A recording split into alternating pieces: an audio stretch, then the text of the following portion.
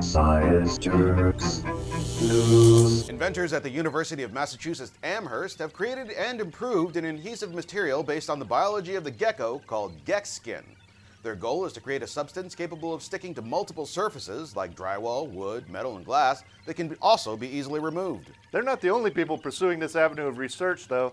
Some teams are attempting to mimic the microscopic hairs on gecko feet. However, the Amherst team is focusing on draping adhesion, which is the reptile's thin skin conforms to a surface, but the skin is connected to the skeleton with tendons rather than fatty tissue, allowing both maximal coverage and rigidity. The result is an index card sized pad capable of holding up to 700 pounds off a vertical surface, yet is easily removed without leaving any sticky residue, as is the case with most adhesive products.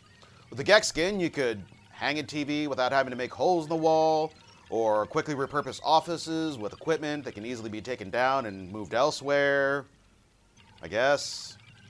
For some reason, I have the overwhelming desire to hang out around a nuclear facility in the off chance I get bitten by a radioactive spider.